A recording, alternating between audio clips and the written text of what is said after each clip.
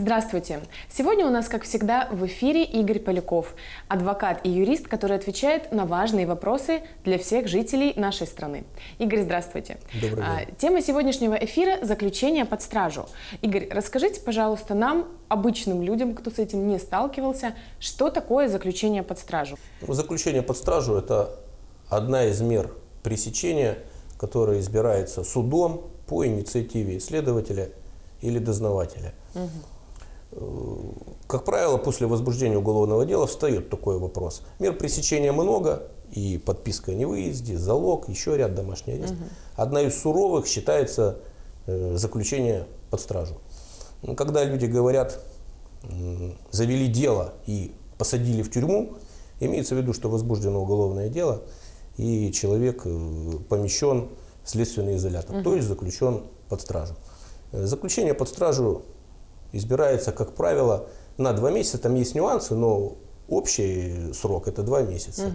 Я знаю случаи, когда э, люди находились под стражей ну, годами.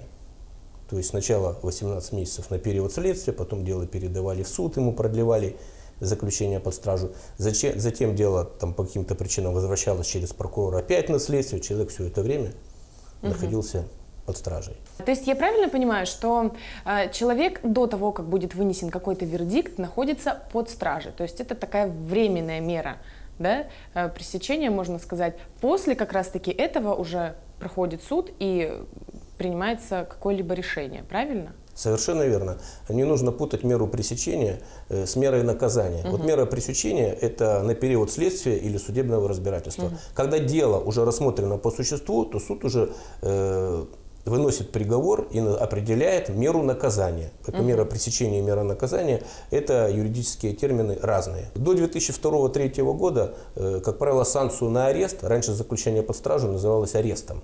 Сейчас это домашний арест, другая мера пресечения. Ну, осталось по старинке арест, арест. Это заключение под стражу, сейчас правильнее говорить. Раньше санкцию на арест давал прокурор.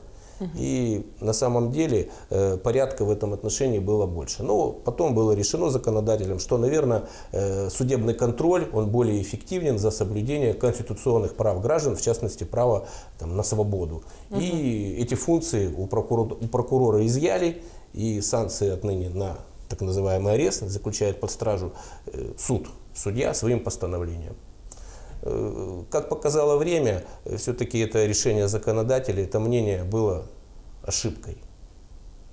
Почему?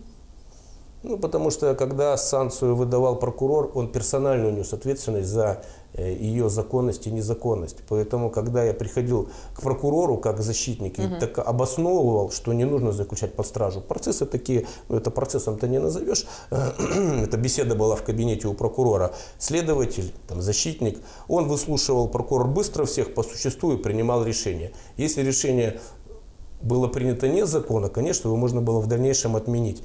Но прокурор в любом случае всегда был ответственен за принятое решение. Соответственно, регулярное принятие незаконных решений и незаконное помещение людей под стражу могло закончиться для него не только карьерным там, каким-то ростом, но и какой-то дисциплинарной ответственностью и вплоть до лишения его должности занимаемой.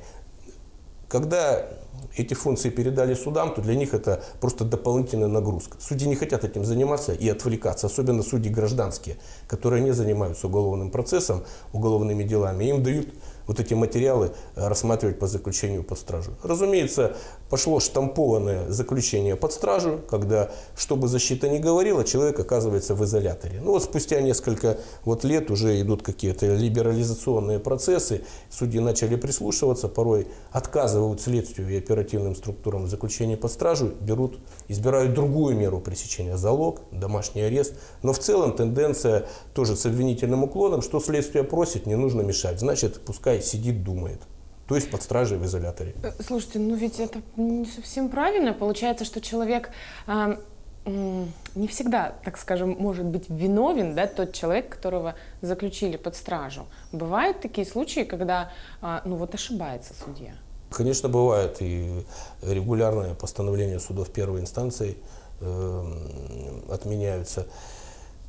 Мы исходим из того, что, к сожалению, в нашей стране заключен под стражу может быть любой. У меня таких примеров там, вопиющего ну, вот, не то чтобы беззакония, да, несправедливости угу. масса. Вот, насколько помню, одно из дел давно уже было, было совершено убийство на крыльце одного из ночных клубов. Тут же начинается оперативно-следственный рейд по близлежащим домам. Угу. И одна э, пожилая, уже такая полусумасшедшая женщина, не знаю, что у нее, вспышка в голове. Я думаю, это могли быть мои соседи, подростки.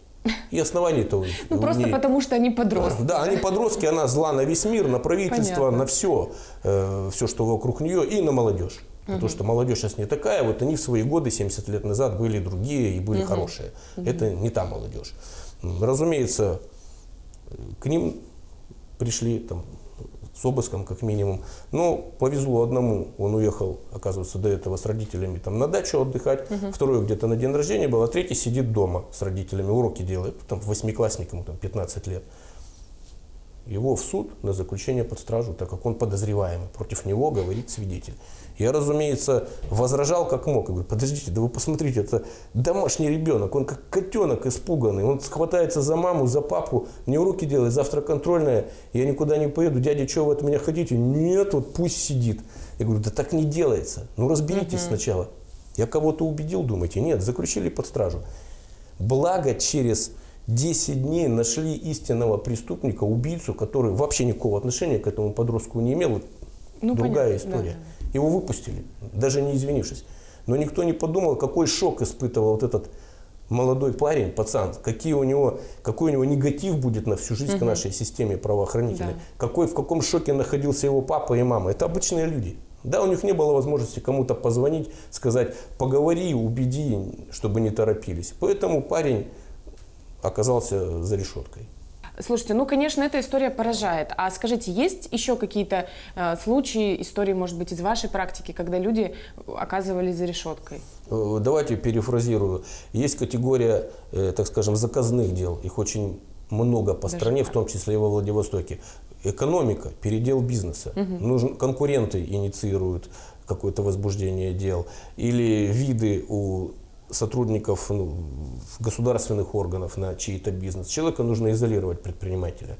Соответственно, ему под разным предлогом возбуждают уголовное дело, заключают под стражу. Пока он сидит, разумеется, переписываются доли, акции, фирма-конкурент э, забирает его э, клиентов а сама фирма вот этого бизнесмена банкротится. Это до такой степени вопиющие факты приняли массовый характер, что э, уполномоченные по правам предпринимателей Российской Федерации на контроле в последние годы держат э, всю ситуацию, все, каждая возбужд старается держать и просить отчет, в том числе и у адвокатов, у адвокатских угу. региональных палат, отчет о количестве возбужденных дел, принятии участия адвокатом в отношении предпринимателей. То есть факты вопиющие, они просто носят массовый характер. Есть так называемая категория политических дел, условно политические. Понятно, что никакой там реальной оппозиции, как в 20-е годы, там, почти сто лет назад, уже нет. Угу. Вот. Но есть ситуации, когда э, какие-то федеральные чиновники федерального уровня видят так себе дело и хотят жертв. И, разумеется, я не говорю про разнарядки, но по вертикали спускаются указания, должно быть возбуждено дело в отношении этого человека. Или этого человека привлечь к ответственности. Дальше все дело техники. Потому что у нас никто не разбирается. Вы должны понимать, что в этой стране репрессировать человека легче, чем реабилитировать. Заключить под стражу легче, чем освободить. Поэтому дальше уже все, ты можешь писать какие угодно ходатайства, жалобы. Тебе будут отписки э, присылать там на, на один абзац но комментировать их таким образом, разбирайся наверху. Вот дело Гребнева, Виктора Григорьевича, угу. известного предпринимателя, который построил Золотой мост, и основные постройки во Владивостоке и по краю, это его. Вот он был заключен в конечном итоге, мера, не только под стражу, но мера в зале суда. Мера пресечения была под, у него был домашний арест, потом подписка. Сейчас его все-таки лишили свободы. Вот пример как политического дела. Там вообще события преступления нет. Ему говорят о том, что вменяют о том, что он похитил с космодрома 500 миллионов, а на самом деле, если читаешь дело, полтора миллиарда он взял кредитов, построил за свои деньги, государство ему по сути не выплатило даже и части их. Угу. Заключение под стражу зачастую выгодно для того, чтобы использовать это как элемент психологического давления. Угу. Люди говорят, я готов подписать все бумаги, только не заключайте под стражу.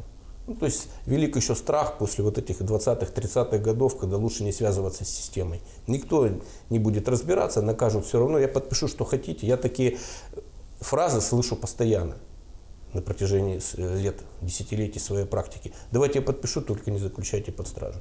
Вы должны исходить из того, что когда следователь подготовил документы под стражу, все, уже включилась красная кнопка. По сути, реанимация. Нужно делать все возможное, чтобы там не оказаться. Иначе, если человек пойдет в суд, да я там докажу, я не виновен, он понимает, что там формальный подход. Там не рассматривается вопрос его виновности, невиновности. Там рассматривается только вопрос, заключать под стражу на период следствия или не заключать. И здесь уже нужно мастерство адвоката, который специализируется на, вот, на данной и угол, категории уголовных дел, и вот на этих материалах стражных, чтобы понимать, как противостоять вот, э, атакам следствия и прокурора, который всегда на стороне следствия.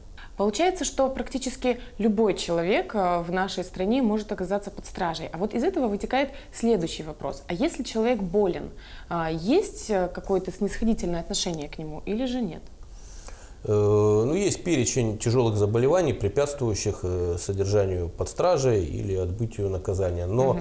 там не говорится о том, что это препятствие для заключения под стражу. Угу. Я знаю случаи, когда люди, люди находятся э, в состоянии здоровья тяжелом и продолжают содержаться под стражей. Инвалиды, э, и без ноги, и без руки. У меня был в практике слепой, одного глаза нет, второй там, не знаю, там минус 7, наверное. Угу. Они выпили там где-то на подряде э, с приятелем, упились, хотелось, один уснул приятель со своими инструментами, этому захотелось продолжить как бы, этот...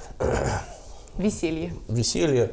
Да, он взял эту дрель, сдал в ларек, получил чекушку, допил, уснул. На утром вот выяснение отношений, приятель со злобы написал заявление, вот этого инвалида заключили под стражу. Он сидел полгода под стражей, суд, разумеется, ограничился э, отсиженным, ему mm-hmm. дали услов, условный срок наказания.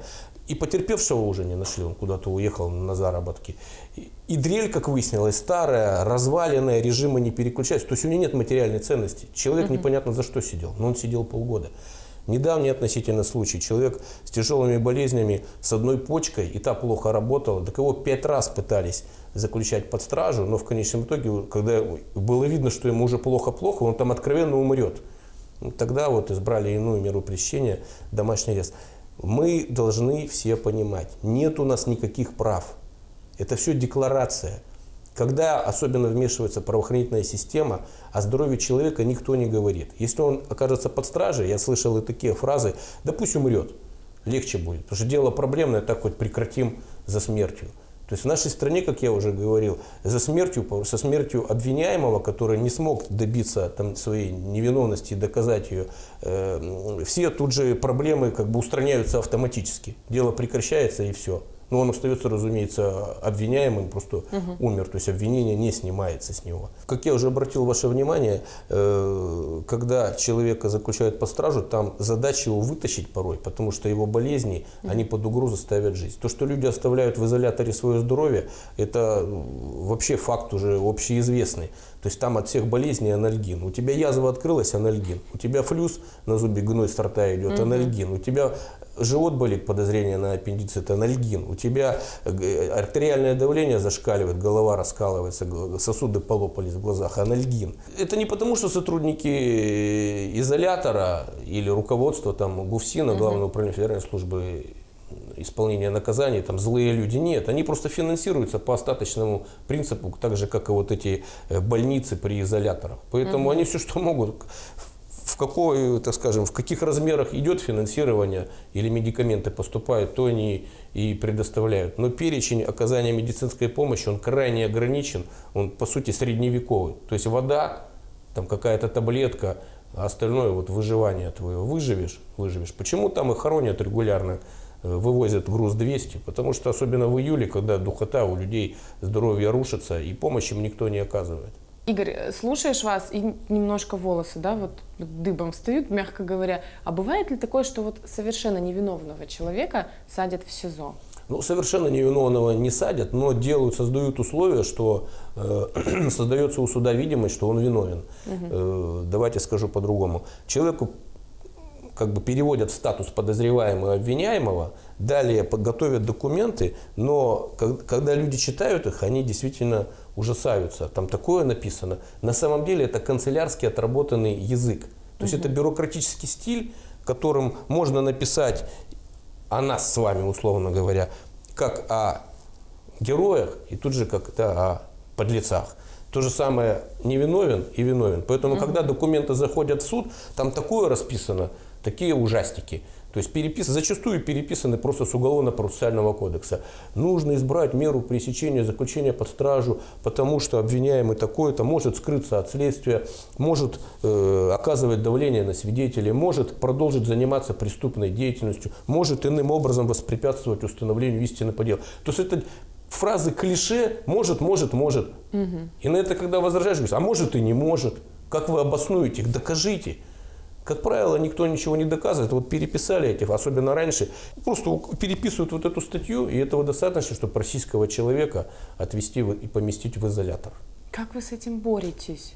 Это же ваша работа.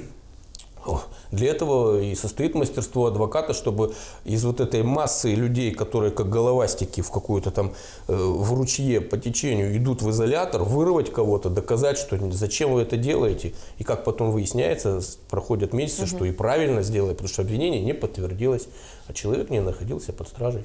Хорошо, раз уж мы коснулись э, темы именно вашей работы, то становится интересно, а как проходит сам процесс заключения под стражу? Какие здесь нюансы?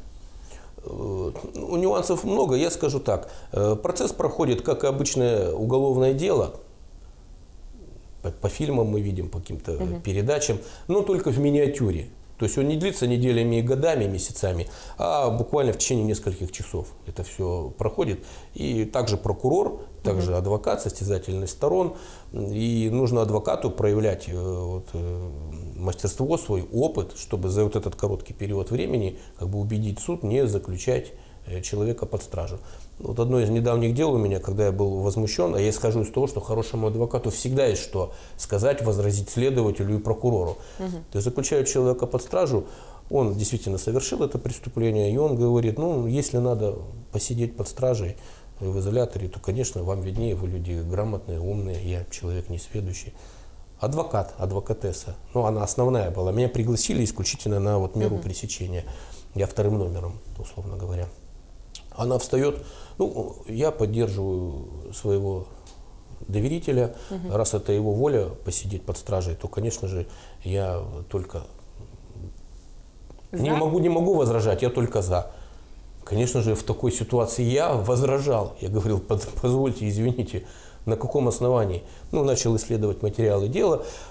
Я к чему это говорю? То есть, какой бы человек не совершил преступление, адвокат должен на его стороне быть, потому что это конституционная наша обязанность. И всегда добиваться, чтобы избрали иную альтернативную меру угу. пресечения. Пусть это будет домашний арест со всеми максимальными ограничениями. Игорь, скажите, а есть ли такие нюансы в судах, которые нужно знать ну, вот абсолютно любому человеку? Вот мы говорим вот э, про суды, когда рассматривают вот эти материалы заключения да. под стражу. Да. да, конечно, есть ряд специфика в этих делах. Ну, во-первых, это обвинительный уклон, такой же тренд. То есть, если человек не будет сопротивляться, как вот этот зверек загнанный угу. в угол, он через несколько часов уже окажется, окажется на нарах. То есть и обвинительный уклон, вот этот, он очень характерен для наших судов. Вот один из случаев у меня был, когда люди прибегают искренне и недоумевают, как так. То есть обвиняемый, то есть их родственник пошел в суд с уверенностью, что он сейчас убедит судью, что заключать под стражу не надо, так как Э, есть к тому основания, чтобы он остался на свободе. Его заключили под стражу. И это неправильно. Человек должен понимать, что он сам там не справится. Там только грамотный адвокат должен за него работать. Он сам там не воин, он не сталкер, он не пройдет вот эти вот нюансы, вот эти вот ну, рубиконы какие-то. Uh-huh, uh-huh. Здесь своя формалистика, своя специфика. Дальше мы должны понимать, что это процессы краткосрочные. Я знаю процессы рекордсмены, зачастую 15 минут и все. У меня таких дел нет. Они у меня могут часами проходить. Но есть ситуации, когда люди искренне считают, что адвокату виднее. А адвокат молчит, человек молчит. Вот прочитали ходатайство, вопросов нет, ну и заключили под стражу. Нужно сопротивляться. И вот в эти вот небольшие вот эти временные периоды, там, сколько это, час, два, три процесса, угу. нужно, э, как правило, грамотно исследовать документы, обратить внимание суда на какие-то моменты, которые очень важны для того, чтобы решение не принято было угу. заключить человека под стражу.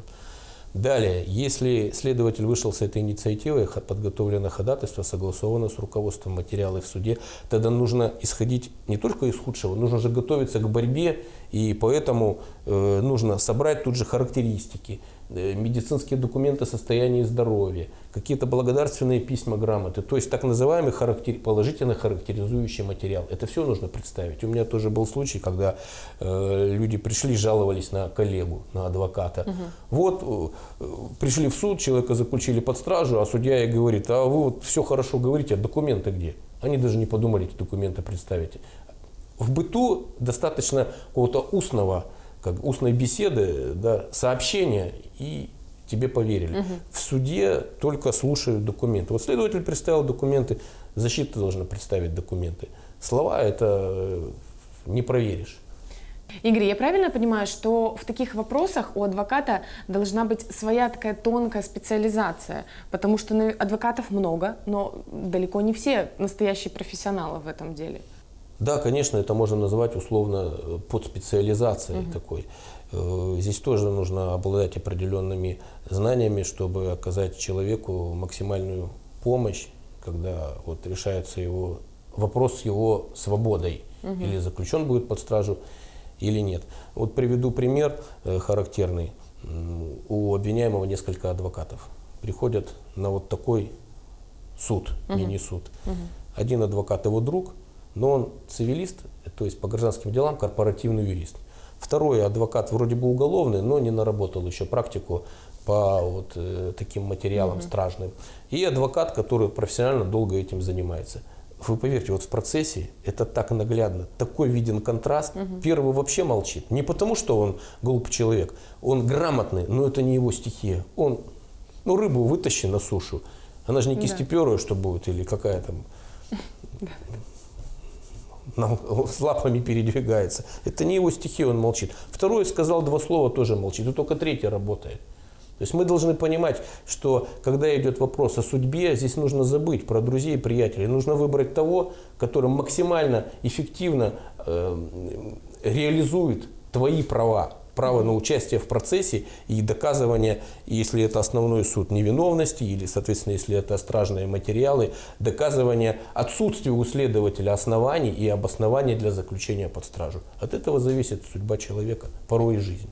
Игорь, спасибо вам за очень интересный эфир. На самом деле тема актуальная, я даже не думала, что настолько, да, и, уважаемые зрители, пожалуйста, еще раз пересмотрите этот эфир его в интернете, послушайте внимательно, потому что, к сожалению, это может коснуться каждого из нас.